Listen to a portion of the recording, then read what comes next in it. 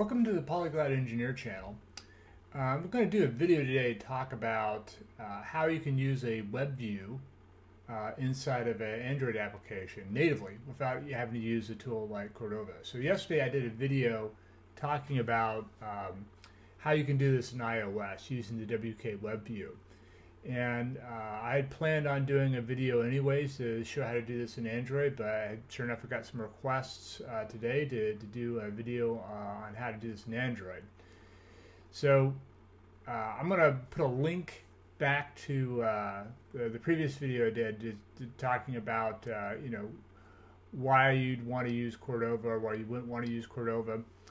But for this, let's go ahead and just go through the, the the exercise of creating a, a brand new Android application uh, with a web view that points to an external resource. So what I have here, if I have my simulator running and I have Android Studio running, so what I'm going to do is I'm going to come over here, I'm going to create a new project, and I'm just going to tell it to select a basic activity.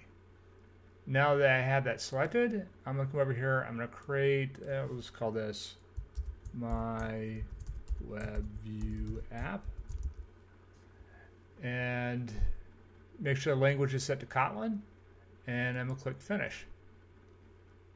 And this is actually scaffolding out a, a brand new application. So uh, this is going to have one, the basic activity comes with one with uh, some fragments and stuff in there. We don't really need any of that. So what we're going to do first is we're to come over here to the resources and go to the layout file. And uh, looks like I have a visitor here. Excuse me. Sorry for the interruption. So uh, I'm to come over here to this uh, uh, activity, the main activity here. And also come over here to the content.main. And so the way this is working right now is that uh, if we go to the main activity itself, we can see here that it's loading up this uh, activity main, but then the activity main, if we actually go in here and look at the code, uh, it's actually incorporating a bunch of widgets and stuff in here uh, for including this uh, content.main. So we're to come here to content.main or content underscore main. Uh, I'm to come here and select the fragment that's already here, and I'm just going to delete that. Now that's deleted, uh, I'm going to come over here to, I believe it is widgets, and select the web view and drag that down here into my uh, into my uh, my view.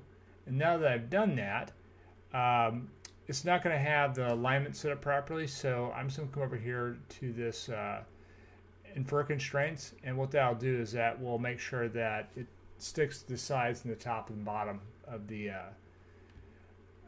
uh, of the, uh, the, the frame. So now that I've done that, uh, I'm gonna come here. I'm gonna just change the ID. I'm gonna change it to my web view. So now I have an ID that I can reference inside of my uh, my main activity. So now if I come here back to the main activity, uh, I'm just gonna go ahead and I'm gonna delete this uh, find view by ID.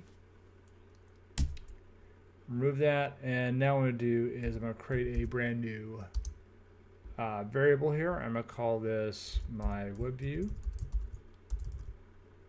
and we're going to set that equal to find view by ID. In this case, I want to make sure that it is using a web view, and I'm going to select that ID that we just created, my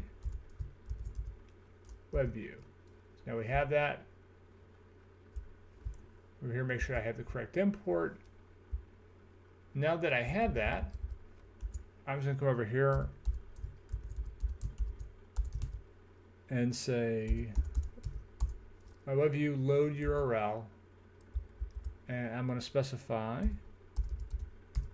the same URL I used yesterday. This is just pointing to my website. Now, if you're going to be pointing to an external resource, um, in other words, one that's on the internet, your application is going to need to have a permission to be able to consume that. So the next thing we're going to do is we're going to come over here to the manifest. I'm going to come to the Android manifest file for this.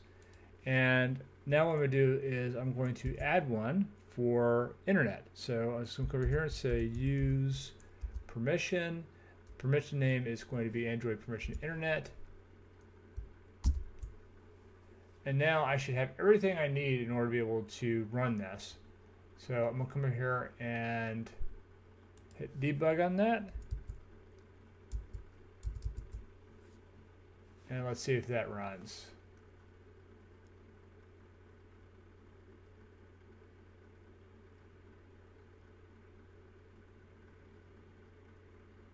and voila, it actually just pulled up my website. I can even come in here and scroll down through that.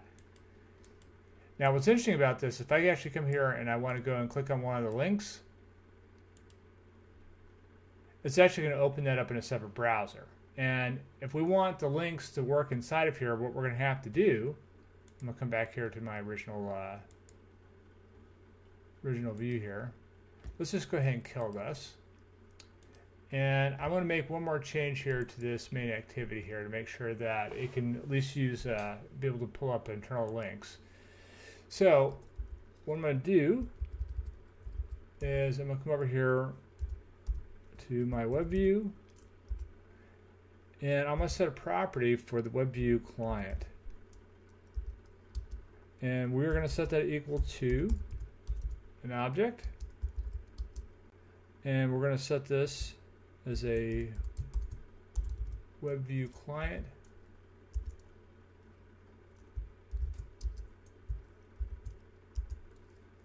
And what this is doing is actually just is creating a brand new uh, web view client and is assigning it to that property. And what we're going to do now is we're going to override the function here for should override URL loading. And we can see here that it just went ahead and it created a uh, uh, it created a, basically uh, a method here or implementation of this method. And I'm going to set it set this up so that the default is now false